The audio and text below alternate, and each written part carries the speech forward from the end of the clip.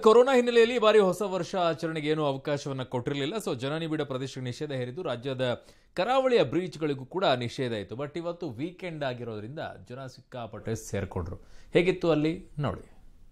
ಹೊಸ ವರ್ಷ ಆಚರಣೆಯ ಸಂದರ್ಭದಲ್ಲಿ ರಾಜ್ಯದ ಕರಾವಳಿಯ ಎಲ್ಲ ಬೀಚ್ಗಳನ್ನು ನಿಷೇಧ ಮಾಡಲಾಗಿತ್ತು. ಇಲ್ಲಿ ಯಾವುದೇ ಸಾರ್ವಜನಿಕರಿಗೆ ಪ್ರವೇಶ ಕಲ್ಪಿಸಲಾಗ್ತಾ ಇರಲಿಲ್ಲ. ಆದರೆ ಇದರ ಹೊರತಾಗಿ ಇವತ್ತು ವೀಕೆಂಡ್ ಇರುವಂಥದ್ದು ಹೊಸ ವರ್ಷದ ಮೊದಲ ವೀಕೆಂಡ್ ಮೊದಲ ಭಾನುವಾರ ಆಗಿರೋದ್ರಿಂದ ಇವತ್ತು ಮಂಗಳೂರಿನ ಪಣಂಬೂರು ಕಡಲ ತೀರದಲ್ಲಿ ಹೆಚ್ಚಿನ ಸಂಖ್ಯೆಯಲ್ಲಿ ಪ್ರವಾಸಿಗರು ಆಗಮಿಸಿರುವಂಥದ್ದು ಬೆಂಗಳೂರು ಸೇರಿದಂತೆ ರಾಜ್ಯದ ವಿವಿಧ ಜಿಲ್ಲೆಗಳಿಂದ ಈ ಒಂದು ಮಂಗಳೂರಿನ ಕರಾವಳಿ ತೀರದಲ್ಲಿರುವಂಥ ಬೀಚ್ಗಳಿಗೆ ಪ್ರವಾಸಿಗರು ಬಂದಿರುವಂಥದ್ದು ಅದರಲ್ಲೂ ಪ್ರಮುಖವಾಗಿ ಪ್ರವಾಸಿ ತಾಣಗಳು ಒಂದಾಗಿರುವಂಥ ಪ್ರಸಿದ್ಧ ಪಣಂಬೂರು ಬೀಚ್ನಲ್ಲಿ ಹೆಚ್ಚಿನ ಸಂಖ್ಯೆಯಲ್ಲಿ ಪ್ರವಾಸಿಗರು ಬಂದಿರುವಂಥದ್ದು ಆ, ಹೊಸ ವರ್ಷದ ದಿನ ಸಂಪೂರ್ಣವಾಗಿ ಎಲ್ಲ ಬೀಚ್ಗಳಿಗೆ ನಿಷೇಧ ಇತ್ತು. ಹಾಗಾಗಿ ಹೊಸ ವರ್ಷಕ್ಕೆ ಬರಲಿಕ್ಕೆ ತಯಾರಿ ಮಾಡಿದ್ದಂಥ ಎಲ್ಲ ಪ್ರವಾಸಿಗರು ಇವತ್ತು ಹೊಸ ವರ್ಷದ ಮೊದಲ ಭಾನುವಾರ ಮೊದಲ ವೀಕೆಂಡಲ್ಲಿ ಆಗಮಿಸಿರುವಂಥದ್ದು ಹಾಗಾಗಿ ಎಲ್ಲ ಮೋಜು ಮಸ್ತಿಯಲ್ಲಿದ್ದಾರೆ. ಆದರೆ ಕೊರೋನಾ ಇರುವ ಭೀತಿಯ ಹಿನ್ನೆಲೆಯಲ್ಲಿ ಈ ಬಾರಿಯ ಹೊಸ ವರ್ಷದಲ್ಲಿ ಬೀಚ್ಗಳಿಗೆ ನಿಷೇಧ ಹೇರಲಾಗಿತ್ತು. ಹೆಚ್ಚಿನ ಸಂಖ್ಯೆಯಲ್ಲಿ ಜನ ಬರಬಾರ್ದು ಅನ್ನುವಂಥ ಕಾರಣಕ್ಕಾಗಿ ಈ ಒಂದು ಬೀಚನ್ನು ನಿಷೇಧ ಮಾಡಲಾಗಿತ್ತು. ಆದರೆ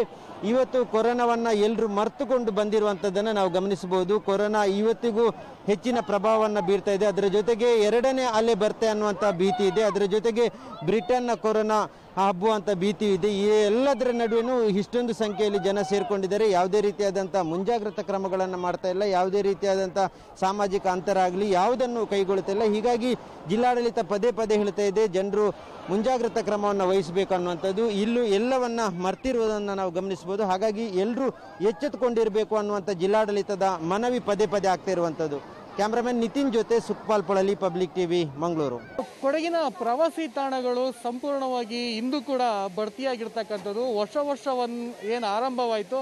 ತದನಂತರ ಏನು ವೀಕೆಂಡ್ ಆಗಿದೆ ಆಗಿದೆ. ಹಾಗಾಗಿ ಇವತ್ತು ಸಂಡೇ ಆಗಿರೋದ್ರಿಂದ ಪ್ರವಾಸಿ ತಾಣಗಳು ಸಂಪೂರ್ಣವಾಗಿ ಭರ್ತಿಯಾಗಿರ್ತಕ್ಕಂಥದ್ದು. ಎಲ್ಲಿ ನೋಡಿದ್ರು ಕೂಡ ಪ್ರವಾಸಿಗರ ದಟ್ಟಣೆ ಮತ್ತಷ್ಟು ಹೆಚ್ಚಾಗ್ತಾ ಇದೆ. ನೀವು ಇಲ್ಲಿ ದೃಶ್ಯದಲ್ಲಿ ನೋಡೋದು ಮಡಿಕೇರಿ ನಗರದ ಅಬ್ಬಿ ಜಲಪಾತದ ಬಳಿ ನಾವಿದ್ದೀವಿ. ಇಲ್ಲಿ ಸಾಕಷ್ಟು ಜನರು ಮಾಸ್ಕ್ ಇಲ್ಲದೆ ಎಂದಿನಂತೆ ಓಡಾಡ್ಕೊಳ್ತಾ ಇದ್ದಾರೆ. ಸೊ, ಕೊರೋನಾದ ಎರಡನೇ ಅಲೆ ಮತ್ತಷ್ಟು ಬರುವಂತೆ ಅಂತ ಹೇಳ್ತಾ ಇದೆ. ಬ್ರಿಟನ್ದು ಕೂಡ ಅಲೆ, ಆತಂಕ ಈ ಎಲ್ಲ ಕಡೆ ಈಗಾಗಲೇ ಹರಿದಾಡ್ತಾ ಇದೆ. ಆದರೂ ಕೂಡ ಯಾರಿಗೂ ಕೂಡ ಇಲ್ಲಿರ್ತಕ್ಕಂಥ ಪ್ರವಾಸಿಗರಿಗೆ ಯಾವುದೇ ಅಂಜಿಕೆ, ಆತಂಕಗಳು ಕೂಡ ಇಲ್ಲ. ದೇಶ ವಿದೇಶದಿಂದ ಕೂಡ ಈ ಒಂದು ಅಬ್ಬಿ ಜಲಪಾತ ಮತ್ತು ಮಡಿಕೇರಿಯ ಸಾಕಷ್ಟು ಪ್ರವಾಸಿ ತಾಣಗಳು ಏನಿದೆ, ಅಲ್ಲೆಲ್ಲವೂ ಕೂಡ ಜನರು ಜನರು ಬರ್ತಾ ಇರ್ತಕ್ಕಂಥದ್ದು.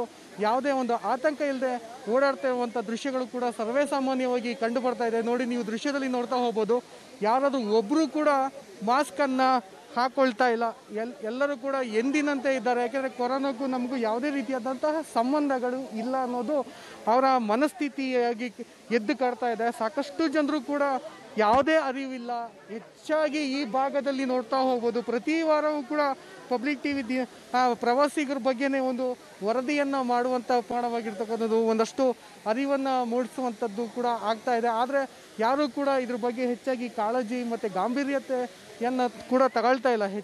ಎಲ್ಲರೂ ಕೂಡ ಎಂದಿನಂತೆ ಅವರ ಪರಿಪಾಠ ಏನಿರುತ್ತೆ, ಏನು ಪ್ರವಾಸಿ ತಾಣಗಳಲ್ಲಿ ಮೋಜು ಮಸ್ತಿ ಏನು ಮಾಡಬೇಕು ಅಂತಿರುತ್ತೆ, ಅದನ್ನು ಮಾತ್ರ ತಮ್ಮ ಮಾಡ್ತಾ ಇದ್ದಾರೆ ಹೊರತು ಯಾರು ಕೂಡ ಹೆಚ್ಚಾಗಿ ಯಾರು ತಮ್ಮ ಏನು ಕೊರೋನಾ ಬರುತ್ತೆ, ಹೆಚ್ಚಾಗಿ ಈ ಭಾಗದಲ್ಲಿ, ಏನು ಜನ ಸಾಕಷ್ಟು ಜನರು ಇರೋ ಕಡೆ ನಾವು ಒಂದಷ್ಟು ಅಂತರವನ್ನು ಕಾಯ್ದಿರಿಸ್ಕೊಳ್ಬೇಕಾಗುತ್ತೆ, ಮಾಸ್ಕನ್ನು ಕಡ್ಡಾಯ ಮಾಡ್ಕೋಬೇಕಾಗುತ್ತೆ ಏನು ಸರ್ಕಾರದ ಮಾರ್ಗಸೂಚಿಗಳೇನಿದೆ, ಅದನ್ನು ನಾವು ಮಾಡಿಕೊಂಡು ಮುಂದೆ ಬರುವಂಥ ಕೊರೋನಾವನ್ನು ತಡೆಗಟ್ಬೋದು ಅನ್ನೋದು ಜನರಿಗೆ ಇದು ಯಾವುದರ ಅರಿವಿಲ್ಲದೆ ತಮ್ಮ ಎಂದಿನಂತೆ ಏನು ಏನು, ಏನಿರುತ್ತೆ, ಎಂಜಾಯ್ಮೆಂಟ್ ಏನಿರುತ್ತೆ, ಅದನ್ನು ಮತ್ತೆ ಮುಂದುವರಿಸ್ತಿದ್ದಾರೆ ಅಂತಲೇ ಹೇಳ್ಬೋದು. ಇದರಿಂದ ಏನು ಹೊರ ಜಿಲ್ಲೆಯಿಂದ ಬರುವಂಥ ಪ್ರವಾಸಿಗರಿಂದ ಜಿಲ್ಲೆಯ ಸ್ಥಳೀಯ ನಿವಾಸಿಗಳಿಗೆ ಒಂದಷ್ಟು ಕಂಟಕ ಎದುರಾಗುತ್ತೆ ಅನ್ನೋದು ಕೂಡ ಇಲ್ಲಿಯ ಜನರ ಮಾತಾಗಿರ್ತಕ್ಕಂಥದ್ದು. Mallikarjun, public TV, Madikeri.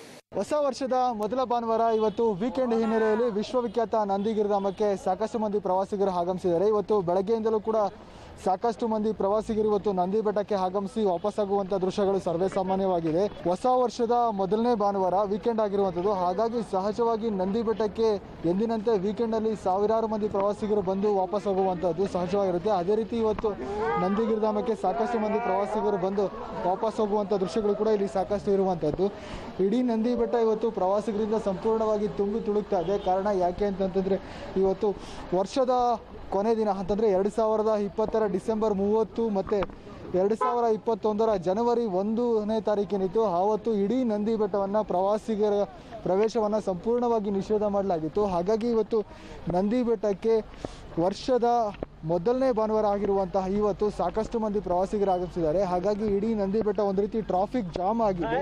Nandi ಬೆಟ್ಟದಲ್ಲಿ ಕಾರುಗಳು ತುಂಬಿ ತುಳುಕ್ತಾ ಇದೆ.